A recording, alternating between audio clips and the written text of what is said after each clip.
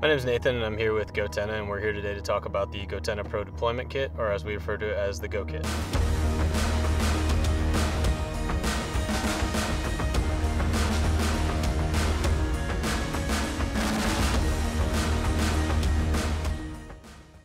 When you get your Go Kit, it'll come with 20 radios and your choice of UHF or VHF antenna.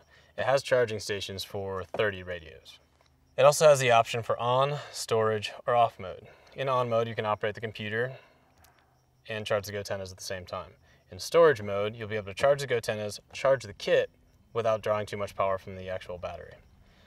Below that, there's a, a power level indicator, so you can depress that and it'll show you how much power is left in your GoKit's battery. Next to that's a little indicator to let you know if it's charging from the external power source. The way you charge your GoTenna Pro deployment kit is through the 110 to 240 volt AC through an extension cord into your wall outlet. There's also a way to charge it with a 12 volt DC cigarette lighter through this auxiliary port right here. Below the auxiliary port is your computer power button. That's going to power on your screen up here. Below that's a few USB cables if you want to charge your phone, plug in a keyboard, things like that.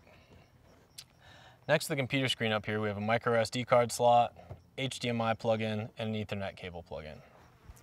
Below the computer, we have a spot to hold a BGAN. So you can put a commercial BGAN in there, which will allow you for satellite backhaul if needed.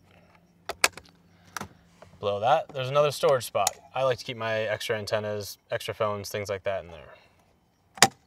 So up here we have the computer. This is where you're going to control most of the features and functions of your Gotenna deployment kit.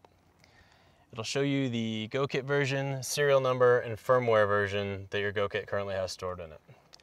When you originally get the Gotenna Pro units, you'll get a Portal admin account. That's where your Portal admin once your Portal admin account holder designs your frequencies, your users, which versions of ATAK you want on your deployment kit, you then sync your deployment kit to the Wi-Fi. The Wi-Fi will then sync everything down here and you'll have all of that stored on this deployment kit, allowing you to deploy completely offline anywhere in the world.